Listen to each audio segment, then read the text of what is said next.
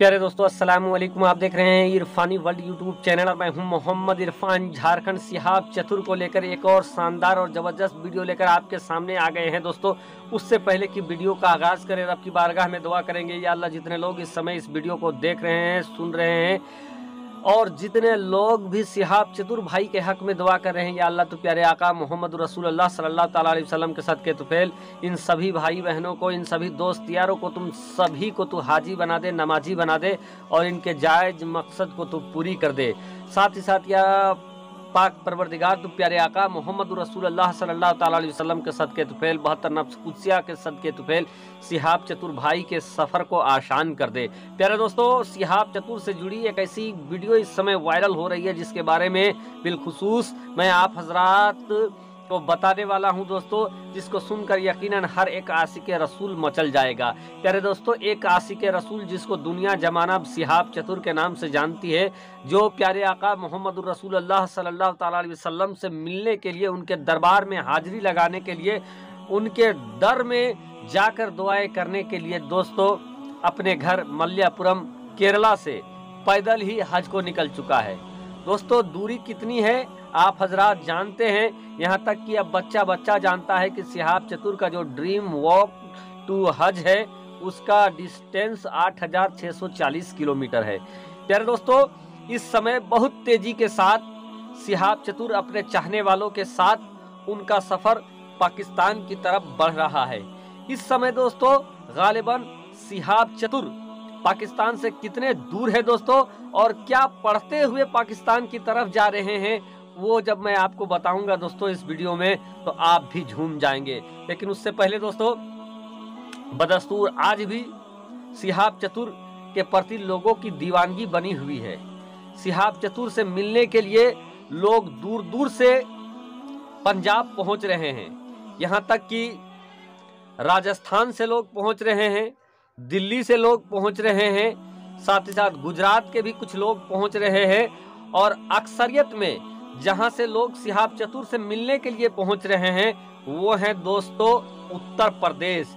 जी हाँ दोस्तों, देश का वो सूबा जहाँ मुसलमानों की तादाद भी बहुत ज़्यादा है और मुसलमानों ने इस बात का ख्याल भी रखा है, जो आज पंजाब में सबसे ज़्यादा विज़िट करने के लिए लोग जो वहाँ पहुँच रहे हैं, सिहाब चतुर साहब से, उनकी तादाद अक्सरियत में दोस्तों उत्तर प्रदेश के है। उत्तर प्रदेश के लोग आज, चूँकि उत्तर प्रदेश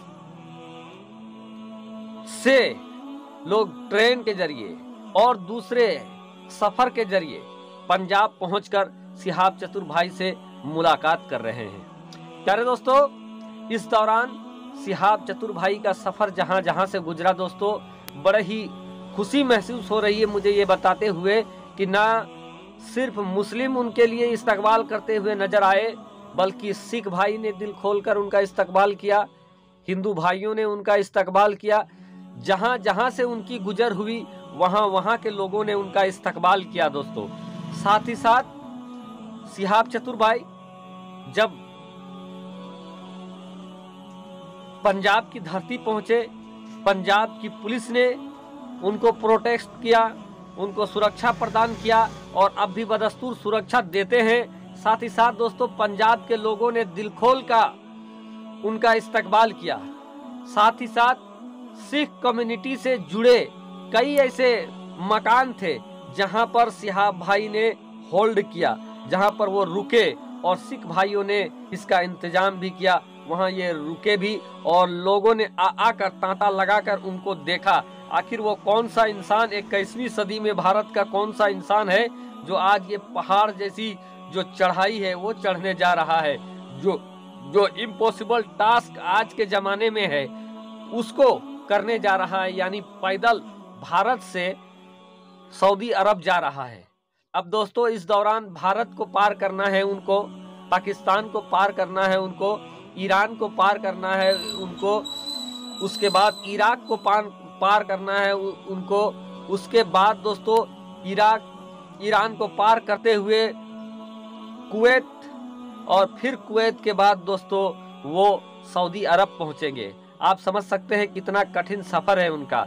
लेकिन दोस्तों, जिनके सीने में शरीयत का नूर होता है, जिनके सीने में शरीयत का नूर होता है, वो किसी मुसीबत, किसी और चीज़ से वो डरते नहीं हैं। और जिसके जहन में नबी का इश्क एक बार चढ़ जाता है, नबी का इश्क का जुनून जिसके खोपड़ी में चढ़ जाता है दोस्तों, फिर वो किस, कभी भी अपना कदम को रोकते नहीं हैं। और दोस्तों, एक शानदार और लाजवाब वीडियो इस समय काफ़ी तेज़ी के साथ सोशल मीडिया में वायरल हो रही है दोस्तों, जिसको देखकर मेरा भी दिल मचल उठा और मुझे लगा कि सिहाब चतुर के सभी चाहने वालों को मुझे इस खबर के बारे में बताना चाहिए। और वो खबर क्या है दोस्तों? सिहाब चतुर भाई इस समय पंजाब में मौजूद है दोस्तों, और पाकिस्तान का जो, और भारत का जो वाघा बॉर्डर है दोस्तों, वाघा बॉर्डर से गालिबन आप लगा लीजिए सत्तर से नब्बे किलोमीटर अभी पीछे सिहाब चतुर भाई है। सत्तर से नब्बे किलोमीटर और अगर सिहाब चतुर भाई सफ़र कर लेंगे तो वो वाघा बॉर्डर पहुँच जाएँगे, पाकिस्तान पहुँच जाएँगे। लेकिन पाकिस्तान की उनका हर एक कदम पाकिस्तान के बॉर्डर के तरफ़ उनको नज़दीक करता जा रहा है।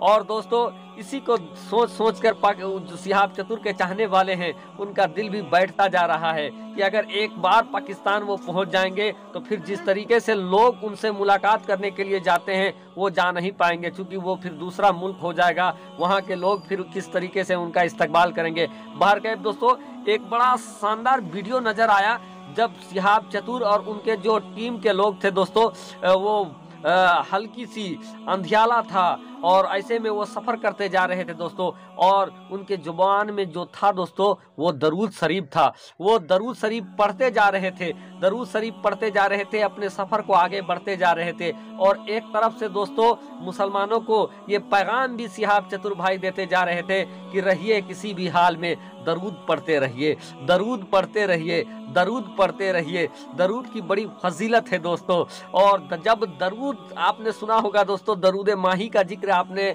सुना होगा कि एक एक मछली दरूद शरीफ सुनती थी। तो उसका फजीलत इस कदर हुआ कि जब उसको आग में डाला गया तो दरूद की बरकत से वो मछली नहीं जल पड़ी। और अगर आप दोस्तों, अगर आप दरूद पढ़ते रहेंगे तो फिर आप कैसे जने, जलेंगे दोस्तों? जो दरूद पढ़ने वाला होगा, जो दरूद सुनने वाला होगा, वो फिर जहन्नम की आग में कैसे जल सकता है? तो दोस्तों, दरूद पढ़ते चले, और इसी का पैगाम दिया है शायद सिहाब चतुर भाई ने दोस्तों, जो अपने सफ़र के दौरान वो दरूद शरीफ पढ़ते रहे, उनके साथी लोग दरूद शरीफ पढ़ते रहे, और उनका सफ़र बहुत तेज़ी के साथ पाकिस्तान बॉर्डर की तरफ़ बढ़ता रहा।